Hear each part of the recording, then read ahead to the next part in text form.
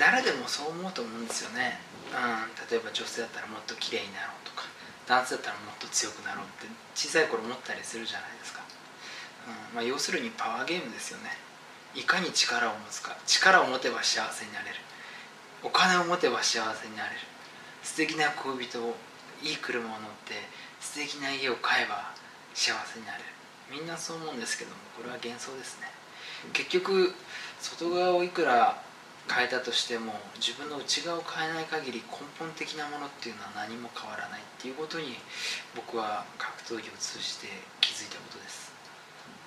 まあ、高校からレスリングを始めたんですけども始めて、まあ、2年ぐらいすると肉体的にも強くなってるじゃないですか。そうすると街歩く時こうやって歩くんですよ。なんかこうやっ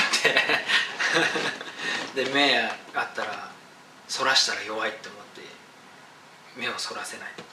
で実際こうやって目を合わせてあっちが喧嘩を打ってきたら心の中で怖がってるんですよ。この肉体的にこうやって筋肉がついて強くなってるのに精神的強さっていうのは全然変わってないなって気づいたんです。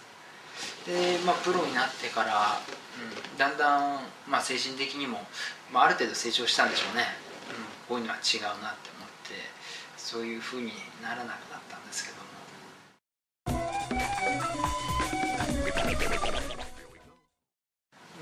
9.11ののニューヨーク同時多発テロがあってあれを見てから完全に自分自身の価値観が変わったというかいくら自分が強くなって有名になってお金稼いでも世界が終わったら終わりだっていうふうに、うん。まあ、最初格闘技をその時やめようと思ったんです。ニューヨーク同時多発テロの時に。でもやめてもどうやってメッセージを伝えようってまだその時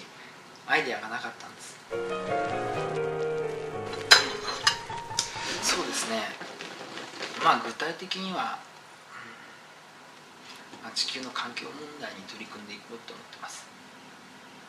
結局環境問題っていうのも人の心の問題なんですよね。誰もがやはりお金を稼ごうって思うでしょうしもっと幸せになろうと思うしとにかくいいものを手に入れようっていう有名になろう。みんなで競争してるんです。そうすると効率よくものを作ろうと考えるじゃないですか。合理的にものを作ろうとか。そうするとこの有機的秩序自然との秩序が完全に崩れますよね。で今もう崩れてやってきてるんです。でもそれがもうある程度の臨界点に達してきてる。一人一人の心がこの環境問題とリンクしている。自分の心の内側とこの今目の前に映ってる世界っていうのは同じものだと思ってるので。一種のホログラムですよね。世界を変えたがる人はいるけれども自分の内側を変えようとする人って結構少ないんですけれども僕は同時にそれを変えていきたいっていうふうに